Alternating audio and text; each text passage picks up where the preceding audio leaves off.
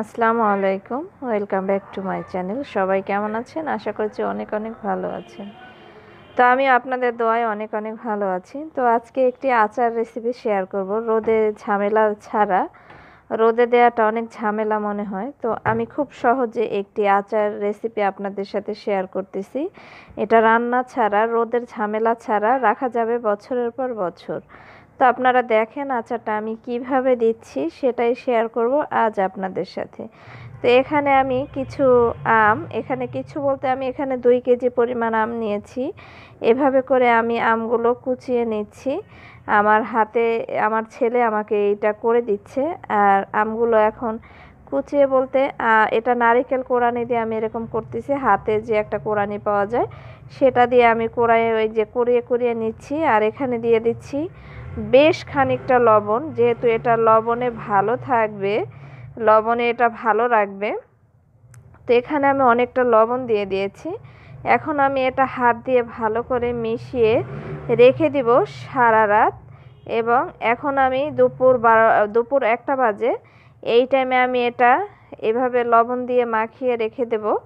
যেমন আজকে আদাবেলা আর সারা রাত, বেশ ভালো একটা সময়।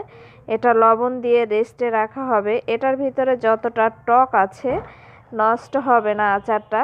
এই জন্যই রোদের ঝামেলা ছাড়া আর রান্নার ঝামেলা ছাড়া আচার রেসিপি খুব সহজে আপনারা এভাবে আচার দিতে পারবেন। এ আচার বছরের পর বছর আপনারা রেখে খেতে পারবেন।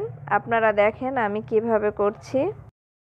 তো আমার এখন রেখে দেওয়ার সময়, আর এই তো আমগুলো আমি বের করে নিয়েছি। এটা হচ্ছে গতকাল গতকালকে আমি যেটা রেখেছিলাম, সেটা আমি লবণ পানিটা থেকে এই যে চিপে চিপে তুলে নিচ্ছি। এই যে দেখেন কি পরিমাণ পানি বের হয়েছে। আমি তো আমে পানি দিইনি, সব টক পানিটা বের হয়ে গিয়েছে এই যে।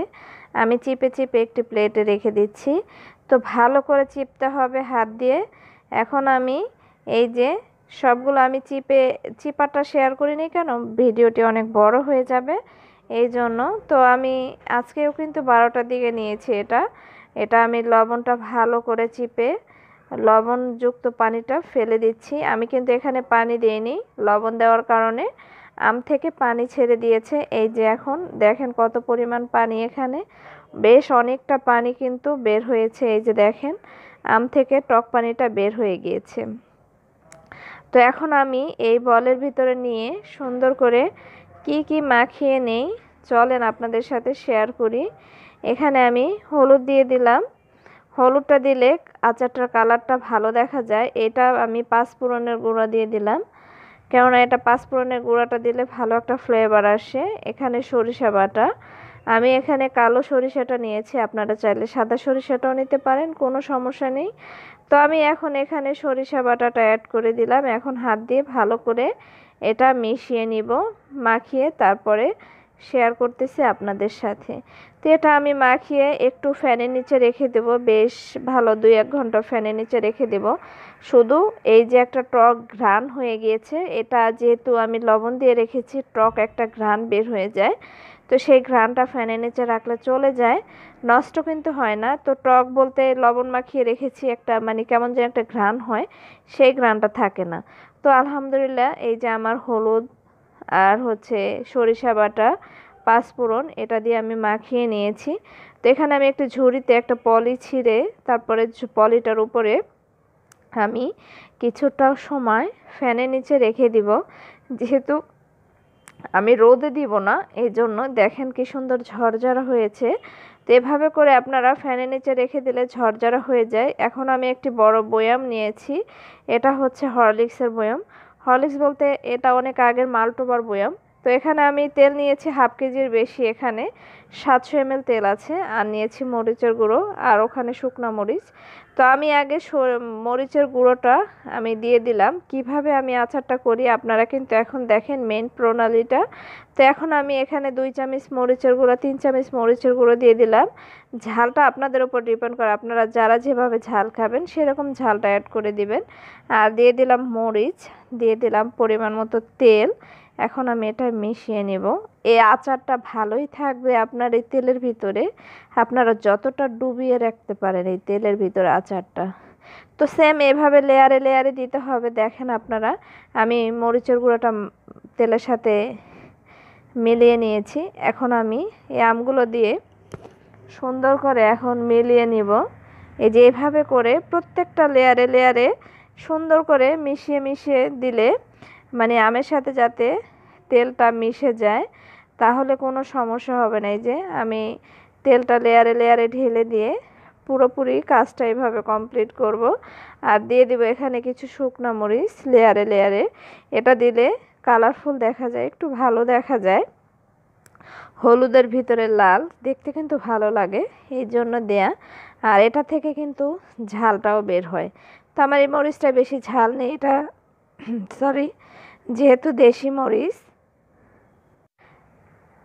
তো দেশি মরিচের ঝাল কম থাকে, এই তো এখন আমি আবার তুলে একটু মরিচের গুঁড়ো দিলাম। মরিচের গুঁড়োটা আপনারা ঝাল, যে যতটুকু ঝাল খাবেন আমি কিন্তু বলেই দিয়েছি, ঝালটা হচ্ছে যার যার উপরে। তো এভাবে করে আপনারা বছরের পর বছর আপনারা এই আচারটি খেতে পারবেন। এটা কিন্তু ইন্ডিয়ান একটি আচার। ইন্ডিয়ার মানুষ খুব পছন্দ করে ইন্ডিয়ান কাশ্মীরি এসব জায়গার আচার, এই আচারগুলো। তো আমি এই আচার কিন্তু গত বছরও বানিয়েছি। গত বছরে আমি চার বয়াম আচার বানিয়েছি। আমার শেষ হয়ে গিয়েছে। অল্প একটু আছে, সেটাও শেয়ার করব শেষে আপনাদের সাথে। তো দেখেন আপনারা, এই যে আমি এভাবে করে প্রত্যেকটা লেয়ারে লেয়ারে বসিয়ে দিচ্ছি আর কীভাবে তেলের সাথে এটা মিশিয়ে দিচ্ছি। তো এই আচারটা আপনারা কমপ্লিট হয়ে গেলে, যেমন আমি আজকে দিয়েছি, আপনারা এক সপ্তাহ পর থেকে এই আচারটা খাওয়া শুরু করতে পারবেন। এক সপ্তাহ কি পাঁচ, ছয় দিন গেলেই হবে। এর ভিতরে ফ্লেভারটা বের হয়ে যাবে। খুবই সুন্দর একটা ঘ্রাণ আসে। আপনারা এভাবে করে আচার খেয়ে দেখবেন, রোদে দেয়া লাগবে না। আপনাদের রান্না করতে হবে না। কোনো ঝামেলা ছাড়া এই খুব সহজ পারফেক্টভাবে একটি ইন্ডিয়ান আচার। এই যে দেখেন আমার আচারটি কমপ্লিট হয়ে গেল। কি যে ভালো লাগতেছে এখন দেখেন, এই যে মরিচগুলো আমি দিয়েছি এই জন্য যে দেখতে ভালো দেখা যায়। তো এই তো আমি বয়মের তেল পুরো একবারে ভরে দিয়েছি। এভাবে করে আপনারা তেল দিয়ে ডুবিয়ে রাখবেন। কেমন লেগেছে আজকের আচার রেসিপিটা অবশ্যই কমেন্ট করে জানাবেন। তো সবাই ভালো থাকবেন, আমাদের জন্য দোয়া করবেন। এটা হচ্ছে আমার গত বছরের অল্প একটু আচার আছে, তো আমি চার বয়াম আচারের এতটুকু আছে, সেটা একটু শেয়ার করলাম আপনাদের সাথে। খুবই মজাদার, এটা খিচুড়ির সাথে খুবই ভালো আসে, যার সাথে মঞ্চা খেতে পারবেন। আল্লাহ হাফিজ।